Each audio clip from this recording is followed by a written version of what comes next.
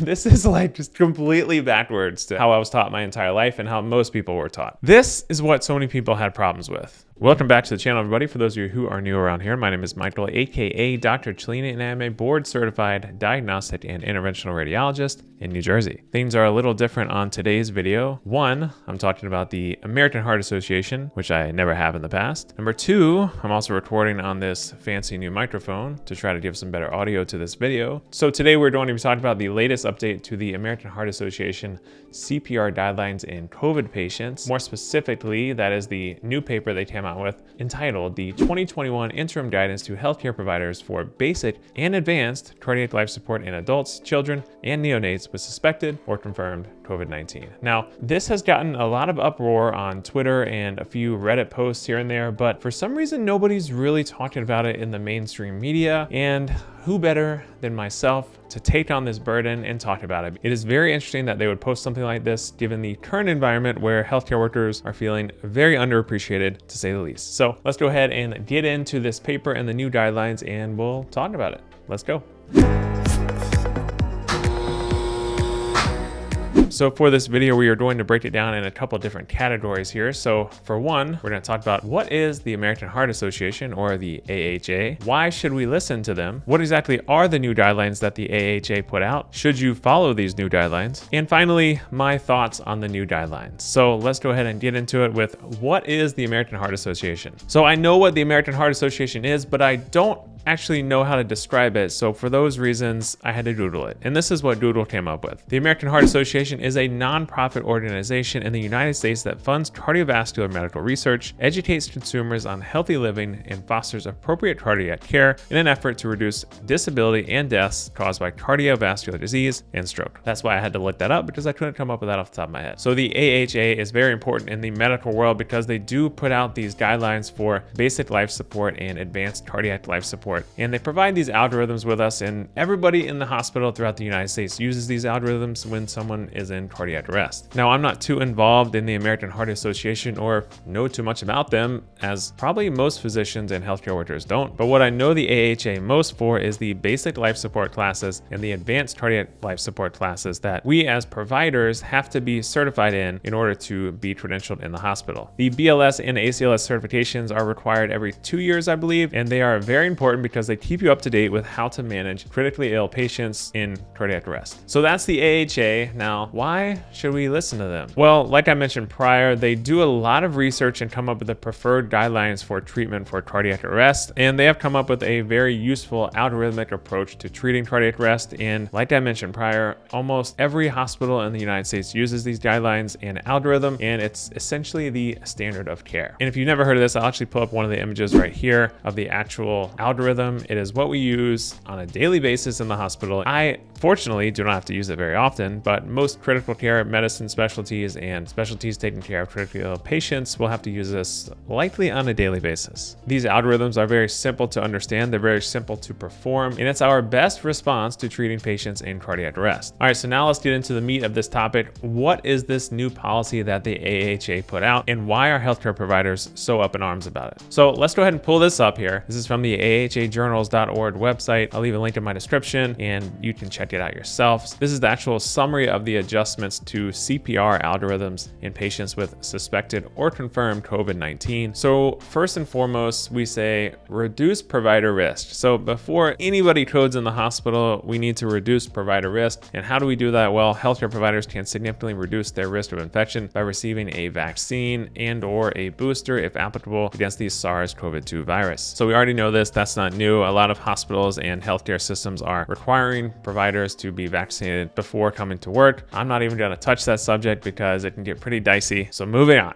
So reduce provider exposure and provide timely care. Okay, Obviously, that's what we want, right? When someone goes into cardiac arrest, time is heart. We have to get in there, start CPR, and initiate the ACLS protocol immediately. However, you do not risk your own life to help others. So what do they say here? So first and foremost, we need to rapidly provide chest compressions without delay or interruption. Basically, that means when somebody codes or someone's heart stops, we have to provide chest compressions first and foremost amongst anything else. The next line is what makes people a little concerned about these guidelines. Do not delay chest compressions for provider PPE or to place face covering on the patient. That's kind of a loaded sentence there. So do not delay chest compressions for provider PPE. So like we mentioned, chest compressions are the first thing we need to initiate. However, they want you to start chest compressions before donning PPE for yourself. Think about that for a second. They want you to just run in there, start chest compressions before you actually protect yourself. This goes against every single thing we were taught about any sort of advanced cardiac life support, BLS protocol, all that stuff. This goes against all of that because the very first thing you do in all of our teachings that I've been taught forever is check to see if the scene is safe. And part of that is allowing yourself to be protected before you go into the scene. The scene here is the actual patient's room who is coding. And before you go in, if the patient has COVID, you must don PPE. They're basically retracting all that stuff because now we're vaccinated and now we're invincible, which we know not to be true, that we should risk our lives and go in there and start chest compressions before donning PPE. Now,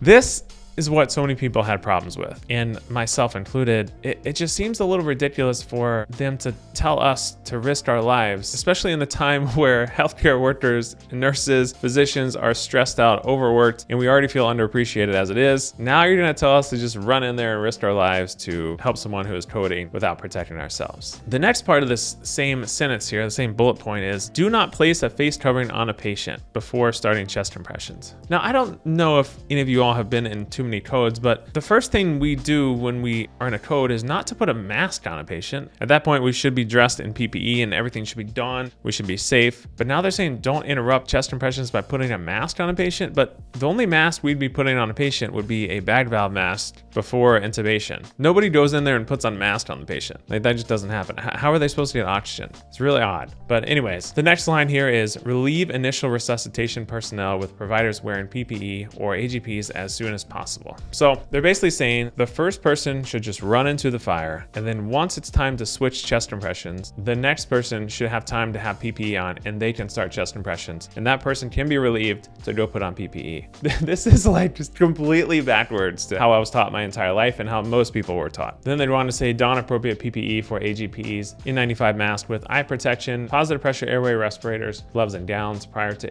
confirmed AGPs, including bag mask, blah, blah, blah, blah. You see here, these new guidelines are a little concerning, to say the least. Then we go down here to the specific additional resuscitation strategies, pediatric and adult cardiac arrest. Defibrillate as soon as possible when indicated. Do not delay defibrillation for application of masks or other PPE. Again, this is basically just saying that we should not protect ourselves and put ourselves in harm's way to help others. Now, a lot of us take these jobs because we want to help people, but we don't want to risk our own lives at the expense of helping people. We want to help other people safely and in a safe manner. When you see stuff like this, it basically puts providers in harm's way and that's where they get angry. And I completely see where the anger is coming from after this new paper was released. All right, so now let's talk about should you follow these recommendations? Well, I'm not gonna tell you you should follow these recommendations or that you should follow any recommendations because that is ultimately your choice. Now, I personally would not risk my own life to go into a room